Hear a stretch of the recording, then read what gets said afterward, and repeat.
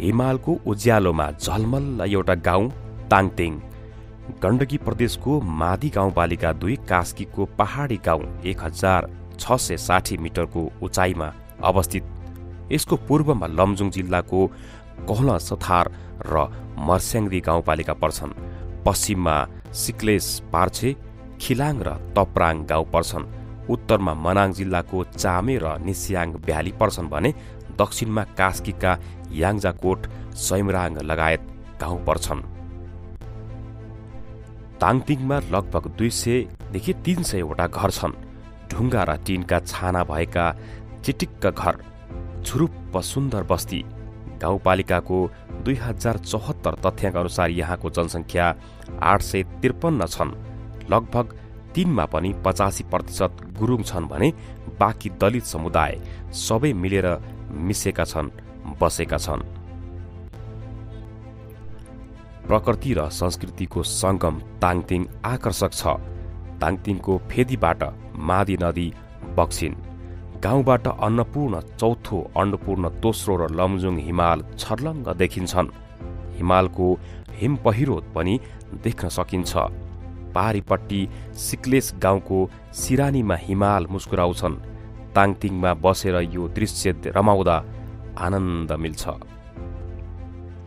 हिमाल जस्तै उज्याला फराकिला र सहयोगी गाउँले स्वच्छ हावापानी र ग्रामीण जीवनशैलीले मोहनी लगाउँछ।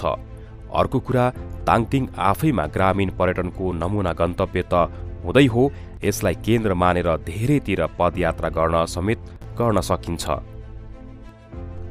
ताङतिङका विषयमा केही किम्बदन्ती छन्? गुरुङ भाषामा ताङतिङलाई तोनी नासा भनिन्छ। तौँ भनेको रमाइलो र नासा भनेको गाउँ। यसरी ताङतिङ रमाइलो गाउँ हो। चाँदी झै टल्किने हिमाल र फरासिला गाउँलेका कारण ताङतिङ सधैँ रमाइलो हुन्छ। अर्को किम्बदन्ती अनुसार गुरुङ भाषामा तौँ भनेको बदेल र नि भनेको लड्ने हो। परापूर्वकालमा हाल गाउँ भएको ठाउँ जङ्गल थियो जहाँ बदेल लड्थे। यसरी बदेल झगडा खेल्ने ठाउँलाई तोनी भनियो पछि तोनीबाट अपभ्रंश भए वा भएर ताङतिङ बन्यो। ताङतिङमा सडक विद्यालय खानेपानी बिजुली टेलिफोन इन्टरनेट होटेल होमस्टे जस्ता आधारभूत सुविधाहरू छन्। ताङतिङमा ग्रामीण जीवनशैली छ। गाउँलेको मुख्य पेसा पशुपालन कृषि वैदेशिक रोजगार र पर्यटन व्यवसाय हो। गाउँमा खेतीपाती गरेको गाई भैँसी बाख्रा र कुखुरा पालन गरेको राडी पाखी डोको नाम्लो र भकारी बुनेका दृश्य देखिन्छन्। यस्तै सामाजिक विकास तथा जलविद्युत नदी नाला वन जङ्गल जङ्गली जनावर अध्ययन गर्न पनि गाउँ उपयोगी छ। गाउँका घर आँगन सफा छन्। युनिका फाउन्डेसन नेदरल्यान्डको सहयोग एवं नेपाल रेड क्रस सोसाइटी कास्कीको प्राविधिक सहयोगमा एक घर एक धारा र एक घर एक चर्पी धुवारहित चुलो निर्माण गरिएको छ। गाउँलेमा सामूहिक भावना पाइन्छ। रोपाई गर्दा होस् या कोदो रोप्दा वा वनमा दाउरा टिप्दा सामूहिक रूपमा एकैपटक काम गर्छन्।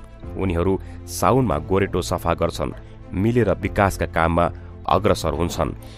गाउँमा हिमालय मिलन माध्यमिक विद्यालय स्वास्थ्य चौकी वडा कार्यालय संरक्षण क्षेत्र व्यवस्थापन उपसमिति ताङतिङ युवा क्लब अन्नपूर्ण महिला बचत समूह लगायतका संस्था क्रियाशील छन्।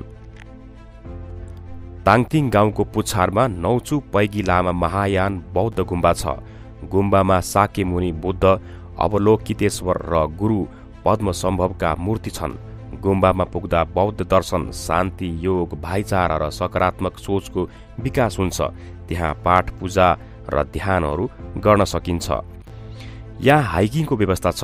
ताङतिङ सेरोफेरोका थुम्काबाट हिमालय डाँडा पाखा र बस्ती निहाल्न सकिन्छ। पुस माघमा यी डाँडामा हिउँ पर्छ। गाउँबाट चार घन्टा पदयात्रा कुम्रु डाँडा लगभग पुग्न सकिन्छ। हिउँ खेल्नका लागि कुम्रु डाँडा उपयुक्त छ। ताङतिङ गाउँबाट कुम्रुङ डाँडा गाडीमा जान एक घन्टा लाग्छ। योग ध्यान र क्याम्पिङका लागि डाँडाहरू उपयुक्त छन्। त्यस्तै चालिस मिनट पदयात्रा नौछु डाँडा लगभग दुई हजार उन्चास मिटर पुगिन्छ। अर्को गन्तव्य हो पुक्लोवा डाँडा ताङतिङबाट पन्ध्र मिनटमा त्यहाँ पुगिन्छ त्यस्तै कुइसो डाँडा छेउको जङ्गल भूमे दस्ता बाजेकै बैकु बसेका छन्। गाउँबाट चालिस मिनटमा त्यहाँ पुगिन्छ। गाउँबाट पन्ध्र मिनट हिँडेमा छत्रे खोला झरनामा पनि पुग्न सकिन्छ। गाउँमै प्लाउमै थुमथेवा प्राकृतिक भ्यू टावर छ। गाउँबाट दस मिनटमा रमणीय तुयोक्यु खोला पुग्न सकिन्छ। त्यसै गरी यहाँ ट्रेकिङको व्यवस्था पनि छ। ताङतिङलाई केन्द्रबिन्दु राखेर धेरैतिर पदयात्रा गर्न सकिन्छ। हिमाल लालीगुराँस चराको चिरबिर र लेखाली खर्कको सौन्दर्यमा रमाउँदै पदयात्रा गर्न सकिन्छ। ताङतिङबाट दुई दिनमा भुजुङ पुगिन्छ। यसै गरी ताङतिङ हुँदै नामु भन्स्याङ लगभग पाँच हजार पाँच सय साठी मिटर भएर मनाङको तिमाङ पुग्न सकिन्छ। यसका लागि गाउँबाट कुम्रु डाँडा हुँदै चोरो डाँडा पदयात्रा गर्न पोखराबाट चार दिन छुट्याउनु पर्ने हुन्छ। सबैभन्दा महत्त्वपूर्ण कुरा ताङतिङमा होमस्टे र होटेल सुविधा छ।